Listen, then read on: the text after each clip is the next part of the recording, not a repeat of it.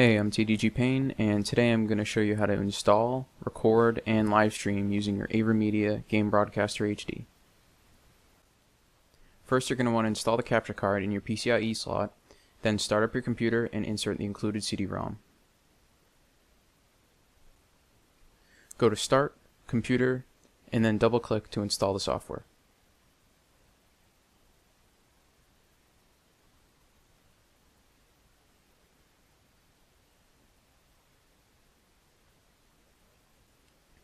You can also go to avermedia.com, click on Capture, find your capture card, click on AP and drivers, and you'll see a whole list of drivers you can download. Now that you have it installed, you're going to open up AverMedia Center 3D. If you notice at the top, you'll see a few tabs, Capture, Video, Music, Pictures, and Settings. Right now, we're going to click on Settings, go to Capture, configure input source, configure recording, and you're going to select the MPEG-2 format. There are other formats, but I think this one has the best compression quality. Now click Edit, and you'll just copy down these settings. There are other resolutions you can choose from, but it's best to choose the same one that your console is set to. Once you're done, click Save, then click Save again, and while you're still in settings, go to General, Configure Storage, and then here you're going to select your destination folder where you want to save your recorded videos. Once you're done, just click OK and then click Save. Now you can go back to the main screen. And before we go any further, we're going to set up the HDMI cables.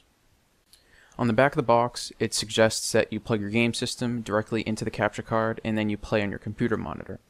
But instead of using their way, I went and bought an HDMI splitter.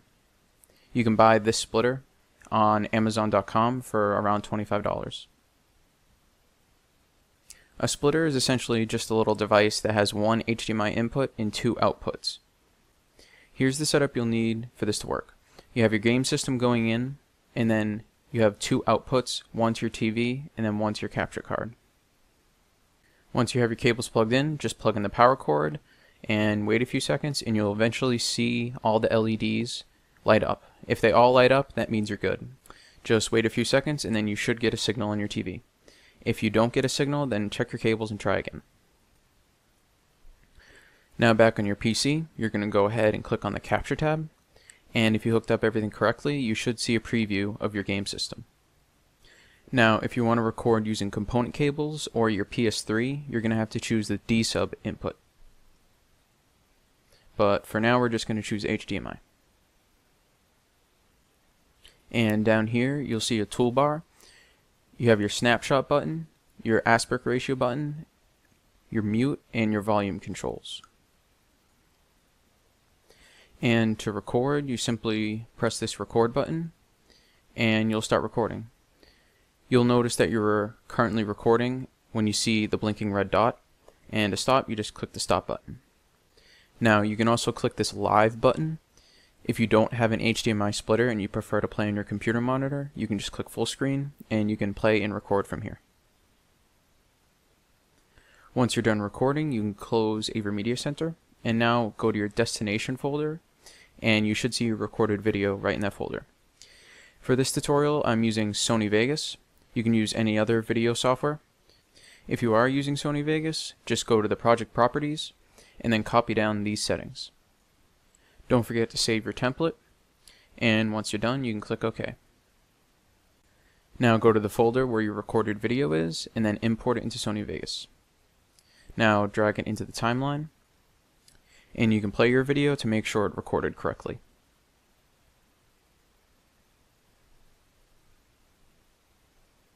Now an important thing that everyone should do to make your video look better is to right click on your video, go to switches, and then disable resample.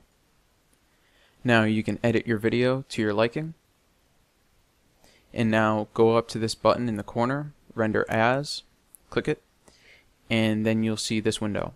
For the video format, choose MainConcept AVC, and you can choose any template you want. You can choose the default.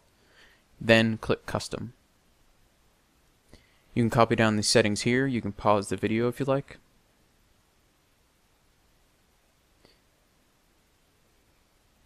Here are the audio settings. And set the project rendering quality to best. And don't forget to save your template so you can use these settings next time. Click OK, name the file whatever you want, and choose your destination. Then all you have to do is click Save. And then you'll just have to wait a little while for your video to render. Once your video is done rendering, go to whatever you saved it, and you'll see your video file. You can then upload this to YouTube. Next, we're going to talk about how to live stream. I use the XSplit Broadcaster, so you can go to xsplit.com, and then you can register right on the front page. Once you're done registering, you can then download and install XSplit.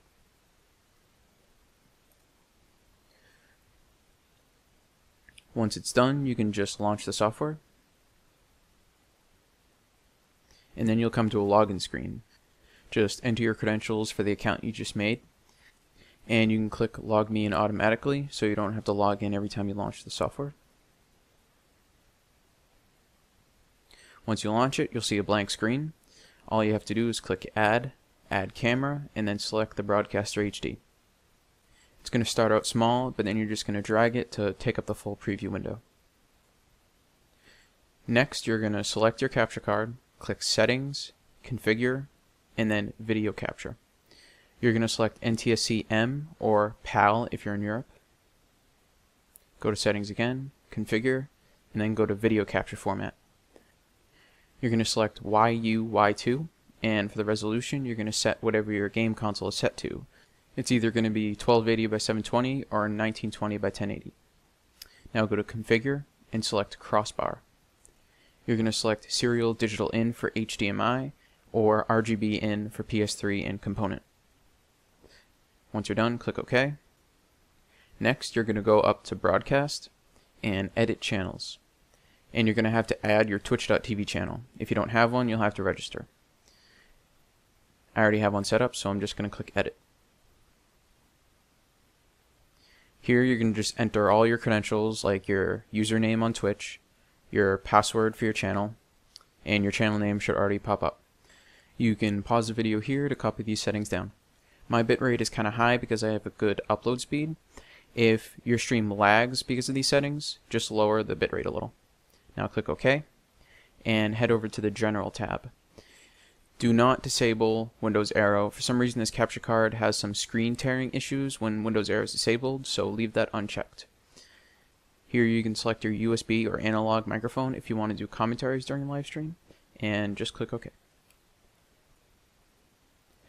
Now we're going to go up to View, Resolution, and if you bought an HD capture card, you're probably going to want to stream in 1280 by 720, but if your internet connection or computer can't handle it, I suggest going lower Frame rate, you're going to choose 30 frames per second.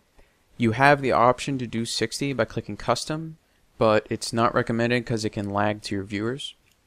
You can go to view, view scale port, and you can adjust the size of the XSplit window. This is recommended if you're playing on your computer monitor so you can see it better, but you can, if you want, you can just set it lower. Down here, you'll see your mute and audio settings for your devices. This is the mute for microphone and volume for microphone and on the right is to mute your game audio or adjust your game volume. Also, if you right click the preview, you can actually adjust the volume of the capture card itself. Now all that's left to do is to click broadcast and then click your channel name and then in a few seconds you should be live. To view your stream's live chat room, you can go to twitch.tv, sign in, and go to your dashboard. In the twitch.tv dashboard, you can choose the title of your live stream.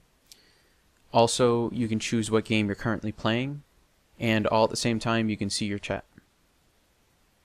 You can click here to see a preview of your live stream, but I usually leave it off because it can lag my stream sometimes. To view the dashboard and the XSplit window at the same time, just drag each to the side. Now you should be all set to stream with your Game Broadcaster HD. If this tutorial helped you, please give it a like and consider subscribing. Also, if you want to see the quality of this streaming setup, you can go to my twitch.tv channel. I'll leave a link in the description. Thanks for watching.